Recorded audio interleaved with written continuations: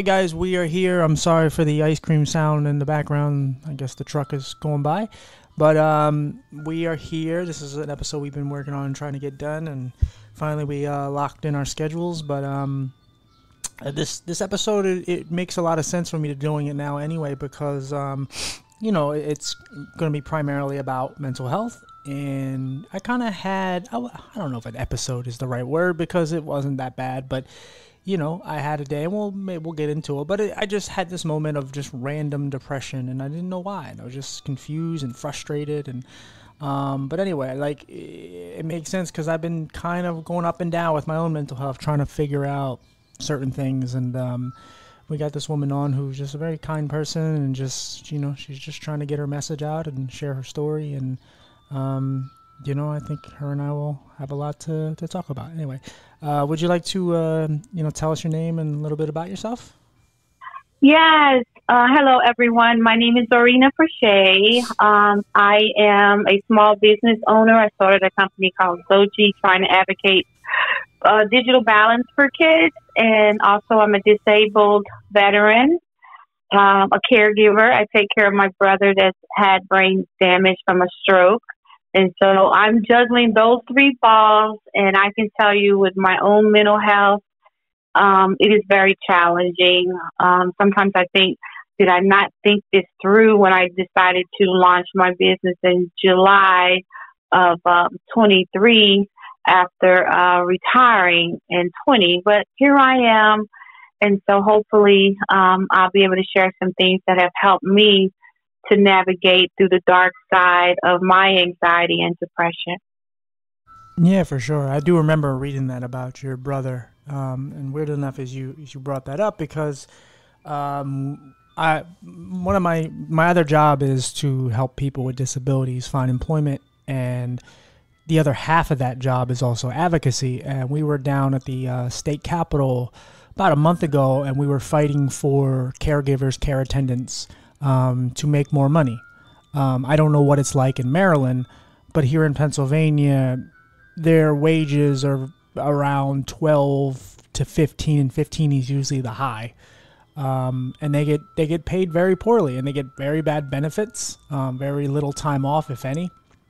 Um, I don't know what it's like for you, but um, that was something we were fighting for about a month ago.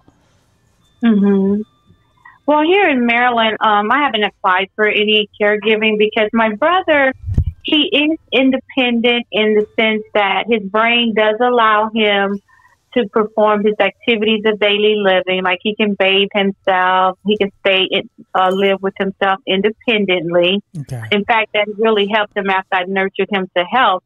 I felt like as a man, he needed his manhood back in some kind of capacity because he's not able to drive, he's not able to uh, think critically or make any decisions. So I have to do all the financial decisions. And so, um, it's been, it's been challenging. Um, it has challenged my mental health in so many ways, especially when he forgets stuff because one of my symptoms with my, um, depression is that um, I also experience problems with judgment and memory. And so, but with him, I think because of the vulnerability of his situation, it forces me to stay focused. Because I know that if I make a mistake, it can really hurt him, whether it's financially or his health, because I have to put it together, his medications, uh, stay on top of his doctor's appointments. So in some regards, um, helping my brother in that capacity is also helping me because it's making, it's forcing me to be mindful of everything that I do, which in turn is really helping my mental health. Sure. Well, I mean, it's got to feel good to take care of somebody you love um, and bring them joy, but also, I mean, it's it's much harder to worry and care for someone else than it is yourself because when you're yourself it's like you'd a lot of times you would rather endure the pain because it's like you know how it feels. You you you may or may not know how to take care of it. Um, but when it's someone you care about and you see them in agonizing pain or you see them emotionally distraught or whatever you start to i mean it, you feel helpless and you know, so I can only imagine. I do feel helpless. I feel helpless in a different way, though, um, because I'm the only girl. Um, you know, people often say, "Oh, you're such a good sister," and I'll tell them quickly. Um, I don't feel like I'm a good sister because I'm not doing this for him because I'm his sister. Um, if I really had a choice, I'd rather not do this because it is sometimes it's mentally draining on me. Yeah. And it makes me very anxious, especially when I can't reach him on the telephone. I get very anxious, and we've had episodes of that, and I don't like it. Um, I chose to do this for my brother because no one else in my family stepped up. My brother is not married. He has no children. And I know putting my brother in an institution, I might as well say he's dead, to be honest. I know that sounds blunt, but it's like I might as well kill him because Sure. he's not going to thrive. He's a very social person. And so I'm very happy that I found a independent, um, complex where he has, he's surrounded by other people with disabilities and he's thriving. He's building friendships and I finally got him a pet that he can have. So even though he's not able to live totally independent, mean make all his decisions, um, he's happy and I'm happy in seeing him happy. And thusly, I feel like I made the right decision Yeah. in honoring this. For sure. Yeah, and that's that a challenge in itself because I know for me, I'm really big on like purifying like my mental bubble and just getting rid of all the negativity and anything that brings me any kind of pain in life. Um, and obviously with this particular situation, someone you care about and you know you don't want to see him go to some sort of home or institution or anything. So you kind of have to take the the bad with the good, and obviously you get more good from it but there is some bad that comes with it, and it, it, it's kind of humbling to, to hear you admit that because there are a lot of people that wouldn't even admit that out loud because it's like, well, it's my brother, of course, but I mean, look, it's not easy, and and and for you to sign up for that, you have to accept that this is going to bring you some sorrow. This is going to bring you some, you know, stress and, and anxiety. So, Mm-hmm. you know, and, and when you have depression and anxiety, it's like you want to kind of alleviate that. You don't, you want to kind of completely get away from that. But in this situation, you, you can't. You have to. I mean, you, I mean, I guess you can disown them and, and whatever. But that's. I mean, I don't think that's in the cards for you. So no. I think it would bother me, honestly. My anxiety would kick in and say, Oh, you were so awful. You know, you could have helped your brother. You didn't have to. that little talking head would be just going on and on. And so I think, I think I made the right decision. Yeah, for sure. And I, I think yeah, and I think there's gonna there'd be a lot of guilt and. I, I wouldn't be surprised. You know how karma is and how life is. I wouldn't be surprised that you would bump into a lot of people that are probably in your brother's situation and you would see something in them that would, re- and, and maybe their situation, maybe even worse off, and they would remind you of, oh man, look, my brother. And you would just sit there and cry or be angry. And, you know, it's sometimes life has a good way of reflecting some of the things that you, uh, you screwed up on. That's true. And you know, one of the things too, I think was um, my brother um, that segue into my own life. Um, prior to my brother having his stroke, we had a conversation about him moving uh, back to St. Louis um, because we both reside here in Maryland, and he could name he named all these people. I said, if you were to become ill, you know, or something happened, you have a, you have a support system. He started naming all these people that he believed that will be there for him. And who would have thought a year later after that conversation, he would have a brain stroke and where are those people? And so that what made me think of that is the vulnerability, um, in helping my brother. I see my own vulnerability as a person with mental health because I have been hospitalized, uh, with suicidal ideations and things over the past and found myself alone because I was ashamed to share with even close friends at that time of my mental health because of the stigma that people have and how they brush you away. And so when I look at his vulnerability, I'm also having to wrestle with my own vulnerability that if something were to happen to me where my serotonin were to drop to the point where I can't talk, I can't self talk my way out of it, that I need to be, you know, checked in a hospital and get myself back to that level. Yeah. Will there be someone there for me? And I really don't know. I mean, I have a few friends that I've talked about my mental health, but I really don't know. And that's, I think I'm not the only one out there that struggle in wondering, do I really have that support system that if I go into crisis, I have someone that will create a safe space where I can tell them I'm in crisis. Um, I have, you know, shared with friends that if I repeat myself about something I'm dealing with over and over, that's a signal that I'm I'm having an anxiety episode. Sure. Um, and so, yeah, vulnerability is very real when we live in a society that's not quite ready to normalize mental health in a sense of allowing us to have the safe space to say, I'm hurting right now. I need help. I, I just want you to listen to me. I just need to talk it out or, or I need to go, uh, will you come walk with me or will you just hold my hand? Um, I hope that we can have that safe space and we won't have to, for those that are like me, wrestle with the vulnerability of wondering if I were to find myself in an episode episode where there's no one there, yeah. how would that work its way out for me in a very safe and supportive way? Sure.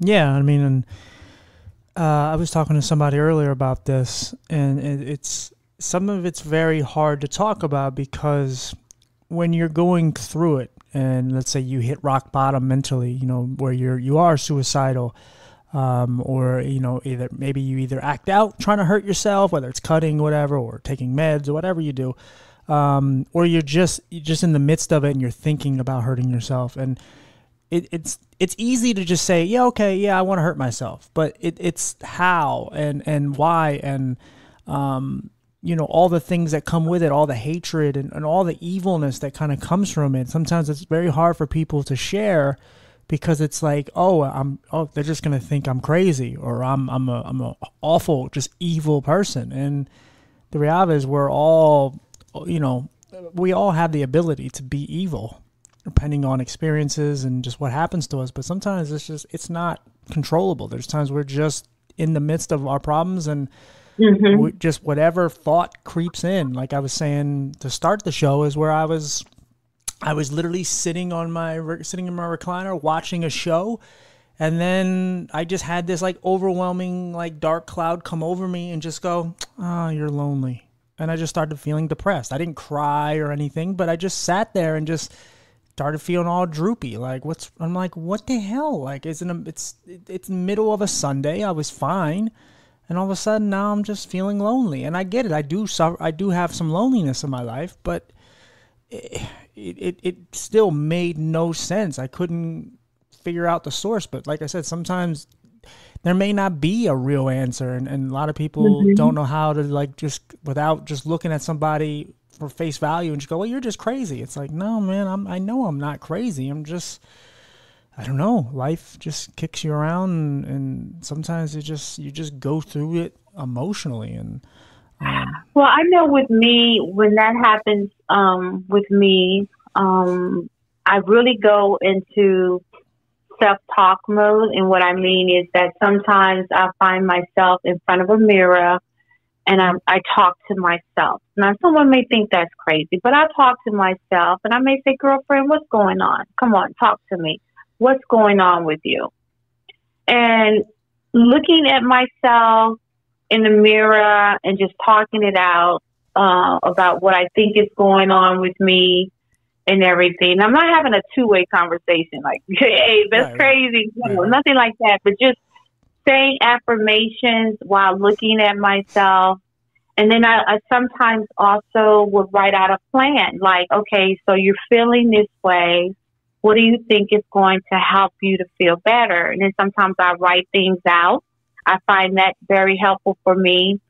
Uh, but I think the whole experience is being mindful of what I'm experiencing, even if I don't know the un, the the reason behind it, but I know what I'm feeling is very real to me. Yeah. And I don't want to stay in that situation. So I have to be mindful in acknowledging it. And sometimes I will say, okay, you know, let's let let's feel what we feel for 30 minutes or an hour. And then some might say, well, what happens if you're still feeling that way? Then I'm just, you know, unless there's something pressing in my life, I'm going to allow myself to feel what I feel. And whatever that feeling that I can or write down in words, I'm going to capture that in words. And, and then I like to circle back sometimes and just read what I wrote because intuitively, sometimes we speak to ourselves. Our inner voice is trying to speak to us, but because of all the noise and the distractions, we're not able to hear. And so I do believe that sometimes uh, we should allow ourselves to, to listen to our inner voice and find out why is it telling us these things, especially with anxiety, because anxiety so, sort of sometimes tell you a lot of negative stuff. Yeah. And you, it's, it's not real, but you believe it's real. And sometimes, you know, um, I listen and I dissect it, I write it down and I meditate you know. Um, but I think the main thing is what you did. You acknowledged that something wasn't right. You could have just said, "ah," and kept on trying to force yourself to continue to watch that uh, program. But we all know that sometimes we can't even force it. It just overshadows us, and we have to acknowledge it and know when to get help, when help is needed, and then the other times know how to manage it and try to continue to live a good life for ourselves. Yeah. Good thing like when these things happen, you know, as, as I feel like I'm I'm a veteran at this now because when I deal with it, even if it doesn't go away that second or within even that day, I'm pretty sure the next day it's going to go away. Whereas years ago it would have lingered for months, weeks for sure and um, now it's just it's a quick bounce back. So I know that I'm very resilient and I can I can handle it. It's never like oh my god, like it wasn't like oh my god you're lonely. You know what? It was a good idea. Let's just go end our lives. It's never even gets close to that, which I know it's progress and I know I've I've, I've moved on and I know I'm I'm much better than where I used to be. It's just these sudden random moments of negative thoughts out of nowhere that just kind of derail my day. It's like, ugh, like why why are we doing this? But yeah, there's many ways I use to combat it, whether it's exercise. Um, I know I started writing things down on the board to, to procrastinate less. I'd say anything I put on this board, I have to make sure there's a check mark next to it because I have to do it that day. Even if it's, mm-hmm. you know, text you to do the podcast or do the podcast or wash dishes or, you know, do my cat's litter, whatever it is, if it's on the board that day, I got to do it. And that just helped me be a little more disciplined, a little more uh, consistent. Um, I like that. I have to adopt that because I, I think uh, I got a touch of that. What is it? ADHD. okay, yeah, I think we all have that. yeah, I think I'm a, a point. I think it's a lot of us that's undiagnosed walking around here as themselves because I can be all over the place and I remember one day last week, I don't know, I was feeling a sense of loneliness. And I find that sometimes um, I want to be by myself and I'm struggling with why I don't want to talk to people on the phone or yeah. uh, go places. I just want to be home. And at those times, I don't necessarily feel um, any anxiety or depression. And I don't know if it's because of the attention that I have to give my brother that maybe subconsciously I just want that time for myself, some time for myself to relax. And so um, I think I was Netflix out, Hulu out, and all of them. So what I decided to do, I put some uh, music on, my favorite uh, reggae, and I just started dancing. Just started dancing, and I started feeling better. You know, I'm still in the house by myself. Um, but it lifted me up because I found something that helped me to um, lift my spirit up because it was something that I enjoyed. And then dancing, you can have fun dancing even if it's by yourself, I guess. Sure. Um, loneliness is something that it's just something that um, that comes and goes. Um, and sometimes I, I don't know what triggers it, yeah. but I know it's real. And I know it can come to you, and you can be in a room with a bunch of people Oh and yeah. still feel like they're so far away.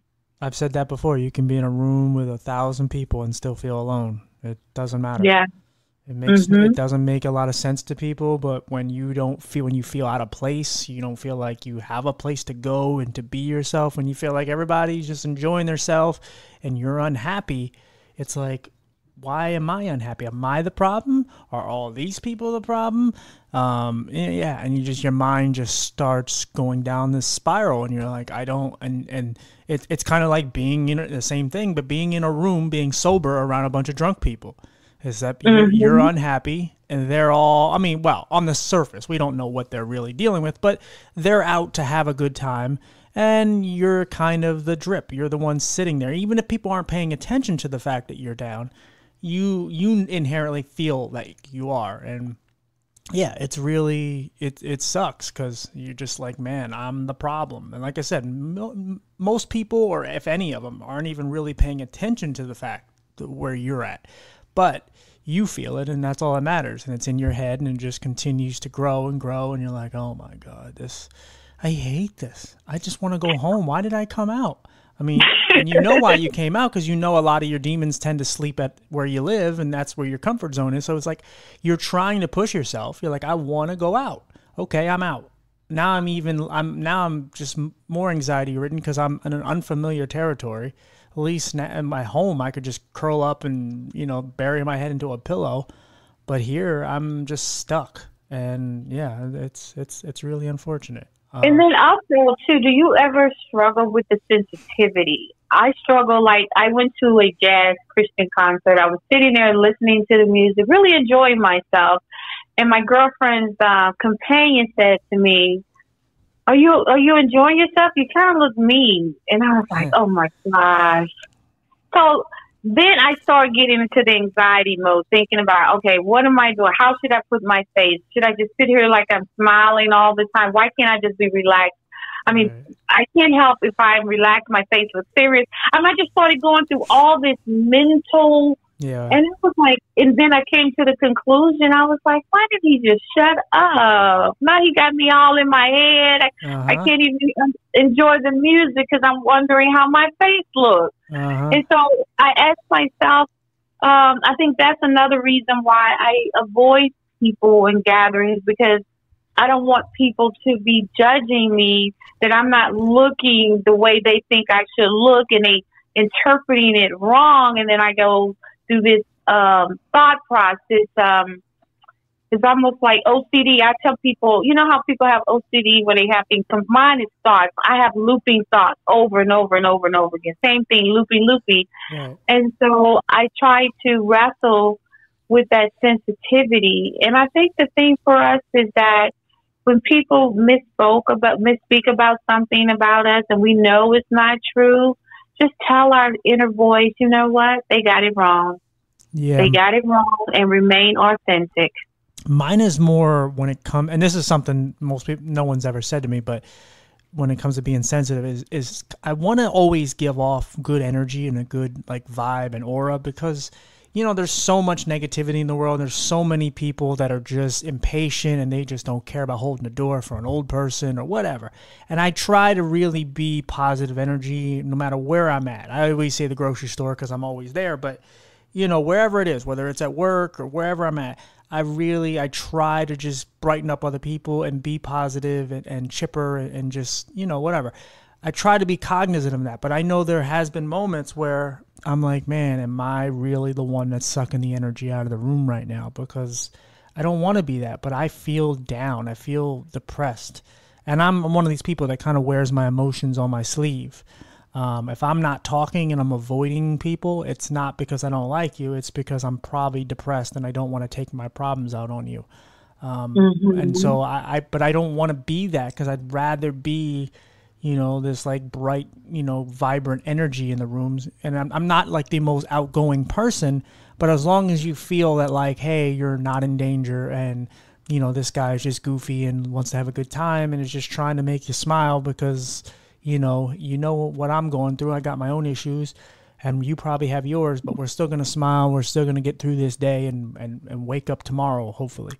Um, but I, yeah, that's, I'm more cognizant of that, of just being, and you know, a good vibe and a good energy in the room. Cause, you know, I, I, I'm sure, you know, you know this, like you've been around people where you feel their energy and you, you if there's energy you feel where you're like, ooh, I think you're just evil or a mean person. But there are just people like when you're around them, you're like, ooh, I don't know what it is about you, but something that's coming off you is just doesn't feel right. Um, and I never want to be like that, and I'm sure I have. Uh, and maybe that's in my head. I don't know, but that's something I'm I'm really more like sensitive towards because I just want to be a good energy, good positive energy for people and I understand that. And I think for me, um, being retired um, and being in uh, my early 60s, I sort of feel like I've had to wear a mask just to have a career, a good living. But I feel like I'm transitioning to a, a stage in my life where I just want to be authentic. I want to enjoy peace. So if I have a day that I'm not struggling with migraines, I'm not struggling with my anxiety and other um, military issues that I have, it is such a good day. And I want to maintain that day of goodness. And so I really am very mindful of what people say to me now. And, you know, even if they try, oh, you're being sensitive. And I'll just say, I'm not. I just don't like how you describe me. Uh-huh. You know, like, for example, my companion and say, oh, you you know, if I forget something, oh, you're always forgetting. And then before I used to just let it roll off me, and but now I'm like, you know, that's not true. So please don't say that. Just only apply to the conversation we're having now.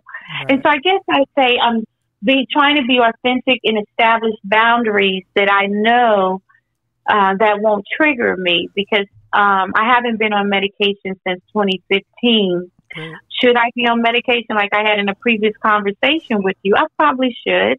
Yeah. But I'm trying to manage it in a holistic way. I'm not against medication because medication has helped me. I'm just trying something different because I don't have the stress of a job anymore. Sure. Uh, I need to do my business Zochey part time. And so I'm trying to do things in a more holistic way, like watch my diet, I exercise, yeah. um, and everything like that. But I am open to if those things no longer serve me, that keeps me balanced. I have no problem saying, introduce me to some meds because I'm feeling a little loopy here and I need to get back balance. So medication is good. I just, for some reason, uh, trying to do it in a very holistic way.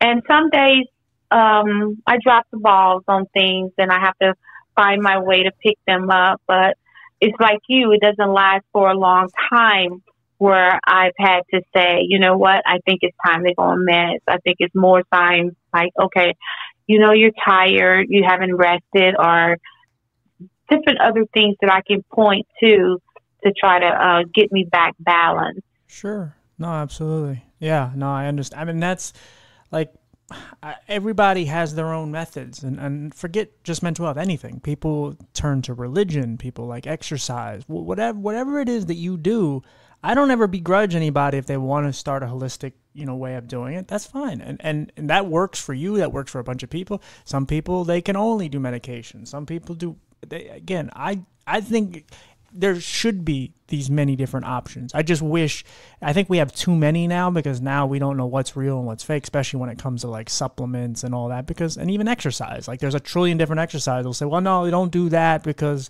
this doesn't burn fat the right way, and this. It's just like, oh my god, can we just get to a point where we just know what is what and what isn't? Um, but I think it's that's that's the thing. That's what makes us so different in, in so many ways. It's that we there are things that work for you that just won't work for me. It may be a life changer for you, just doesn't work for me. And that's okay because what works for me probably doesn't work for you. And, you know, that's just life. I think that's the good part, too. I think having this discussion, um, someone may say, "Oh, well, I could try that, or I can try that." So I think when I think about the times when I was on medication, I was on so many trying to find the right one. Well, it's the same way when I'm trying to try it holistically, trying to find the right fit because it may work for me today or uh, now, but maybe next year it doesn't work. And I think the thing about the whole process of finding what works for you is making sure you're authentic in your decision making and not letting other people, I say, influence you of on what they think is best. Because even doctors can do that. They can say, "Oh, this is good for you," and I've done that, and it didn't work out. And I kind of had some hesitation about it because I know my health, I know how things are, but because they'll say, "Oh, well, this is good for you, you should try it," and I, but now I'm more open to where I can have a discussion with a doctor and say, "Well, let's look up this medication." Well, this medication says it does X, Y, Z. Well, I can't take that medication because of my other conditions. So, sure. my thing to you is whether you're talking to a clinician or you're trying something holistic, make sure you look at every aspect of your life to make sure that's not going to knock you off balance while you're trying to help, you know, solve one issue over here and then it, it messes up everything on the other 99% or whatever. Just yeah. balance and be authentic and hold yourself accountable. I think even with our mental health, we still should hold ourselves accountable on the type of life that we're trying to live. Like you told said earlier, you have a board, you put your goals on there, you want to see a check. I think that's a good idea. I think I'm going to adopt that because I think it will keep me focused. So thank you for that tip. Sure. Um, I think it's just a trial and error. And I think it's okay to um, try new things or say, nope, I don't want to do that. This is your life. This is your journey. Um, the main thing I say is that if you are experiencing any type of mental health or any disability, it's okay to own it. It's okay to navigate through life to find out what is best for you. Sure. So you can live a happy, prosperous life. Absolutely. And just so you know, I use a dry eraser board. That's because it's, it's mm-hmm. the best method. But um, I know something I wanted to ask you because I do have a lot of friends who are, are black and, and, and they, you know, they, they talk about different, you know, because there's different cultures and, and, and whatnot. Did you run into any kind of problems, you know, explaining or, um, you know, coming forward with coming forward with talking about your mental health? Because I know there's different taboos and whatnot. And oh, yes, accepted. yes. Um, in the black community, I don't know if it's still the same way, but when I was growing up, because I'm a 60s baby, when I was growing up, we were told that uh, Christians do not get depressed. And so that was one of the reasons that I suffered with mental health in my 20s and was ignoring it because of that. I would say, oh, no, Christians don't get depressed it was a um I sort of got away from that. I had a um a white female psychologist. Um and she had told me how I had a chemical imbalance and how I was just all over the place and I told her my story and she said, "Well, what about if someone had hypertension or how about if diabetes?" And at that time she was saying, "Well, your medicine you need your medicine to regu- keep your serotonin because your body doesn't keep your serotonin levels. And so when she explained it to me in a medical sense, that set me free. That now if I hear a pastor say something about Christians don't need to get depressed, I just ignore it. And if I come across black uh, people who are struggling with mental health, I tell them it's okay to get help. This doesn't take away who you are. Um, and so I do feel like more and more um, black people are starting to seek mental health. I don't think it's that same level of taboo sure. when I was growing up. Um, I think a lot of people are starting to be more and more open yeah. to mental health individually, but I think we need to be open collectively to let people know safe space because when Simone Biles had admitted that, you know, um, she was having some issues with her mental health. Let me tell you something. As a black woman, to say that openly to the world, uh, that took a lot of courage. And I'm so happy she did because even though people pushed back on it and said she should have done it, and all this other stuff. But I think her acknowledgement probably set some people free to say, wow, she's on top of her game, but yet she has the mental health. I can be successful and still have this illness too. I have to do just like she does. I have to recognize it and manage it. Sure. And I, I think even eh, not to stay on it too long, but like I think when you when you see like the inner city and you see all these kids who are trying to avoid the traps and being in gangs and whatnot, you're trying to tell me they don't have anxiety or depression, like or the grandmas that are taking care of them, or the or the, the single mothers, like you trying to tell me there's no depression in that? Like you, of course, but it's just that's why I wanted to like I wanted to address it just because you know there's different culture barriers and and some people may well, not. a lot of the, I will tell you a lot of the things that are negative that are going on um, in the black community. Some of it really is mental health and the trauma of uh, whether it's poverty, racism. Um, some people do not have the equipment to fight through it like others. Right. I mean, I've encountered racism before, but it never hit it never penetrated me to a point where I want to do something destructive to someone else or even destructive to myself. And um, I think I, I think that's because of the good counseling that I received uh, from the VA, as well as my Christian upbringing and my mom. But some people do not have that support system, so they don't know how to control their emotions and they act it out. And then some people uh, do things. Let's just say some people do things because they just gain pleasure of doing negativity. Oh yeah, yeah you know, and, and they'll label it as mental health because you do something bad, you must have a mental health. Yeah. No, they just want they have they take pleasure in doing that, and no counseling, no nothing may not even help those type of people, and those are far and few though I think, but they're out there. Right, or it is mental health, but you're still going to prison. You can't use that as an excuse. Yeah, that's what it is. Um, did you? I I don't remember what you came to promote. Do you have a book, or is it? A- Actually, um, I have a card game. Um, card I had a dream okay. about a, a quick, uh, fun card game called Dramatic Shift. That's the brand. Um, and so it's a game designed for digital kids because it's quick and it's fun. You can play around in less than 10 minutes. And I think it's a useful tool to help parents to encourage screen time breaks for children because I don't think a lot of parents know that too much screen time can lead to anxiety and depression for kids as well as adults. And so, um, it's, I think post COVID, we need to rebuild our children's social skills because some of them are acting out over what happened in COVID and they're not being engaged. Right. And so if parents can have games such as mine and other games that they can say, hey, time out from the social media or YouTube. Let's sit down and connect as a family or let's play with your friends yeah. so they can continue to build their social skills. And so, um, it's been that has been a struggle too. You know, trying to start a business when you have mental health is very hard because when things do not go as planned, you internalize it as if it's something wrong with you, or you may find like there are days I just don't have the drive to do the things that I should do. Yeah. And I used to beat myself up over it, but now I do not. Um, I only do it part time. Uh, my game is at Walmart.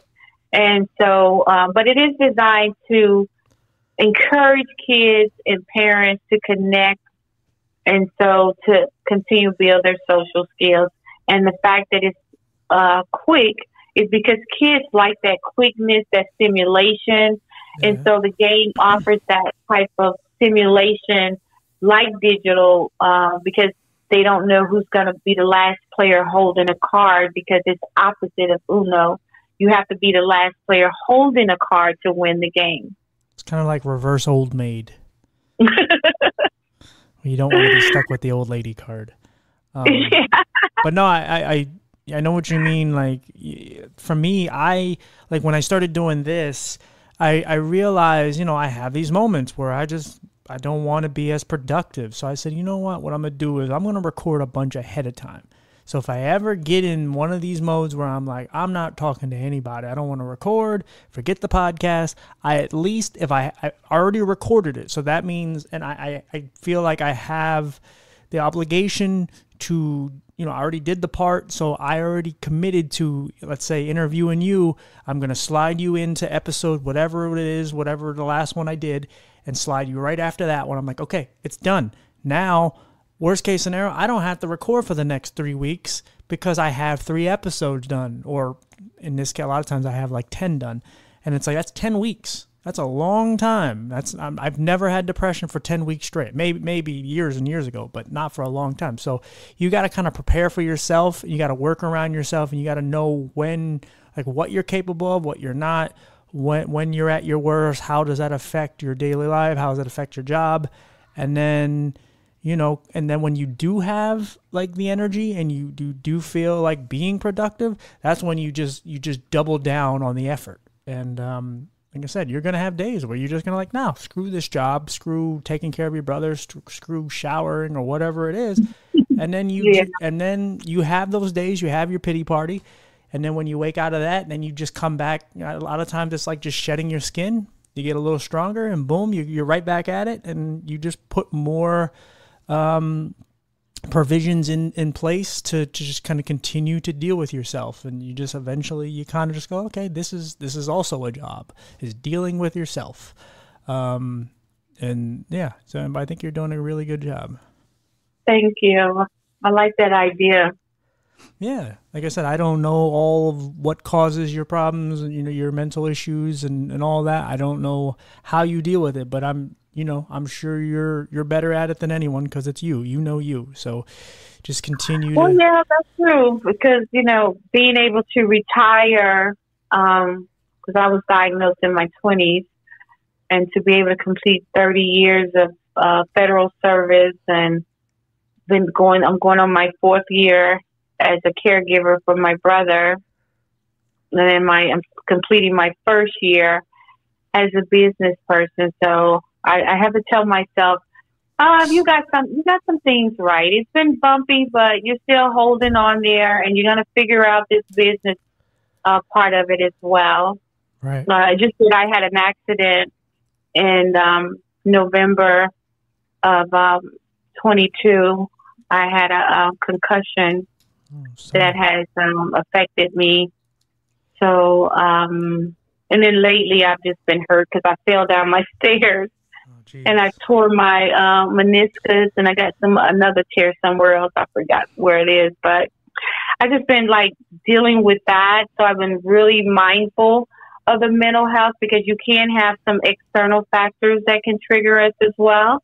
Yeah. And take us down that road, and I just refuse to go down that road. But it has been challenging to um, overcome this uh, pain that I'm experiencing in my knee, and I know I got to pretty much get out of it because I really do need to get back to work and yeah. get started on some things and promoting. Um, but I gave myself grace because I didn't do that before.